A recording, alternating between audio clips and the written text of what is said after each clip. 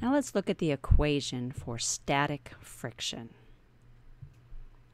So static friction is a case where you've got two solid surfaces in contact and you're trying to move between those two surfaces. So you're trying to move one surface across the other. But the objects don't slide relative to each other. So you're attempting motion, but you're not succeeding at moving things. In other words, the, the static friction makes them stick together. Well, the equation that represents that is given here. Now, over here on the left hand side, we have our frictional force.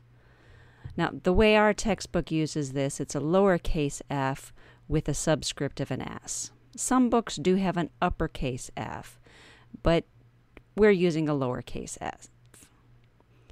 Over here on the other side, we've got the normal force, so that F sub n is your normal force.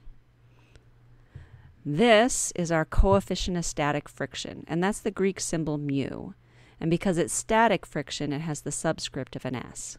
We've got another video for talking more about that coefficient. The last thing I want to point out about this equation is that the symbol in the middle here is not an equal sign, but a less than or equal sign. So we want to explain that. We're not used to having inequalities in our equations here. So less than or equal. The force of static friction is only going to be as much force is needed to hold it still.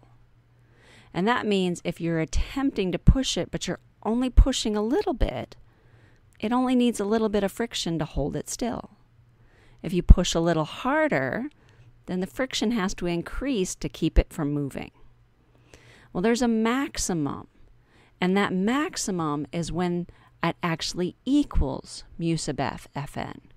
So up here, you're going to have less than mu sub s fn. But here, there's a maximum amount that you can push. If you push too hard, more than that maximum amount, then friction can't hold it still, and you do not have static friction anymore, because static friction has to hold it still. So there's a maximum amount that we can have, but anything else you're going to have less than that maximum. So this is our introduction to static friction. You're still going to need to see some worked examples before you really get this.